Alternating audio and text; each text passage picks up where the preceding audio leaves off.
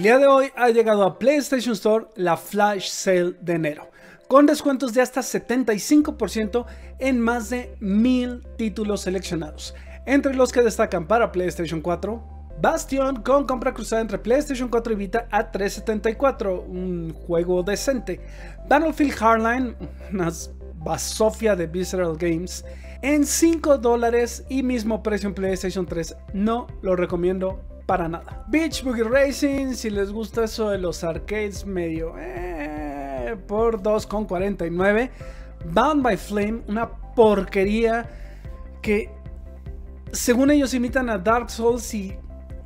Ah, no lo compren, no lo compren. Parece escrito por un niño de 15 años. Se supone que estás en algo así medio medieval, epicón acá. Y, ah, dicen ah, qué chido, oh, bien fregón, la música no tiene nada que ver, el combate es horrible, no lo compren. Pero si quieren tirar 5 dólares, eh.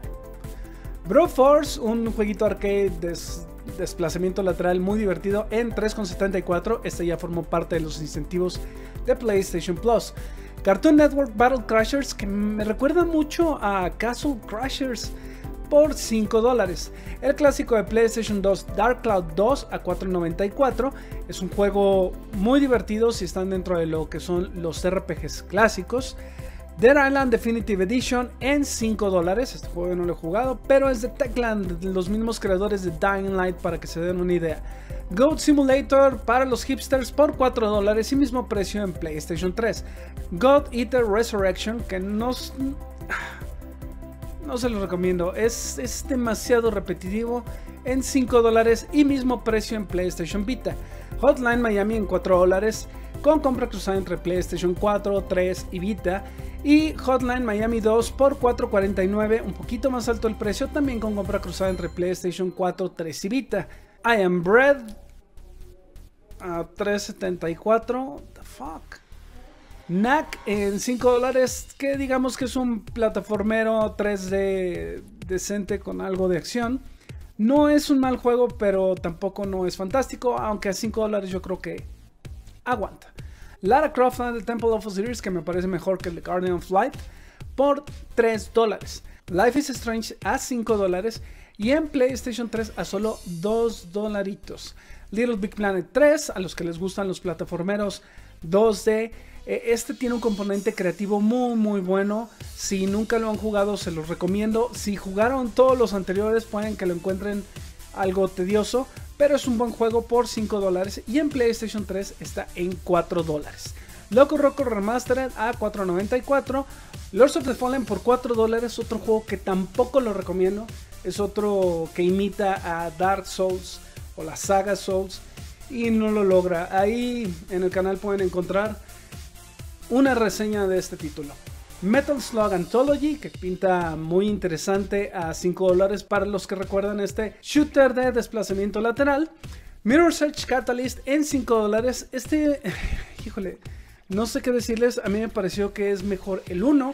No terminé este porque me aburrió. De repente se torna un tanto repetitivo y pasas muchas veces por el mismo lugar. Need for Speed Rivals por 5 dólares. Octodad Deadly Sketch con compra cruzada entre PlayStation 4 y Vita a 3 dólares. Pero también tenemos una reseña de este juego y yo no lo disfruté. Usa y abusa mucho de una fórmula bastante estúpida. The Order 1886, un muy buen shooter en tercera persona. La verdad cumple con lo que prometió at Dawn y por 5 dólares está regalado. Parrapa de Rapper Remastered, a mí me gusta mucho en lo personal ese juego, es un jueguito arcade de ritmo y música por 4 dólares con 94. Psychonauts A4 mm, no me llama. Red Out Lightspeed Edition en 26,79 para los suscriptores de PlayStation Plus y 32 dólares para los que no lo son. Esta es una excelente opción para los que quieren un nuevo Wipeout. Saints Row Ford Reelected por 5 dólares. A mí en lo personal sí me pareció divertido, sobre todo si lo juegan con alguien más. Pero creo que ya las bromas se vuelven medio tontas y era más divertido Saints Row the Third. Strider a 4.49, este es el clásico revitalizado para PlayStation 4 y con el mismo precio en PlayStation 3. el RPG Sword Art Online Rehollow Fragment en 5 dólares, Thief por 3 dólares que si pueden soportar las pantallas de carga es un juego más o menos, no lo recomiendo. Transistor a 5 dólares, un gran indie con elementos RPG, es muy entretenido y tiene, digamos, una personalidad única. Trials Fusion en 5 dólares, este juego la verdad tampoco lo recomiendo porque empieza muy sencillo. Digamos que mm, lo que tenemos que hacer en este juego es ir sorteando una serie de puzzles, por decir así. es de esos de motitos donde vas pasando de un lado a otro y le tienes que marcar la velocidad y... Digo... Eh, lo, mejor que tiene este juego es el online, que sí lo pueden jugar con otros amigos y botarse de la risa por un rato. Traen dos, un excelente juego que es hermoso y lo pueden jugar local y online con hasta otras dos personas por solo 3 dolaritos. Y un Ravel que es un plataformero 12, también es divertido, pero no sé por qué la vez que lo jugué me estaba yo durmiendo. Está muy padre eh, lo que son las gráficas, y tiene puzzles interesantes. Pero sí de repente como que entre la música ambiental y es un tanto lento, les puede dar sueño, está en 5 dólares. Para PlayStation 3, Dead Rising 2 Off the Record a 5 dólares. Este juego yo no lo he jugado. DMC Devil May Cry en 5 dólares también. Este es un muy, muy buen juego de Devil May Cry. Hacen un reinicio de la saga y si pueden aguantar a este nuevo Dante con ese aspecto eh, medio emo, es un gran hack and slash. Just Cause 2 que me hizo casi vomitar porque tiene un frame rate horrible por 3 dólares. Resident Evil 1, 4, 6, Operation Raccoon City y Revelations por 5 dólares cada uno y Resident Evil 5 Gold Edition ah, por 4 dólares con 49.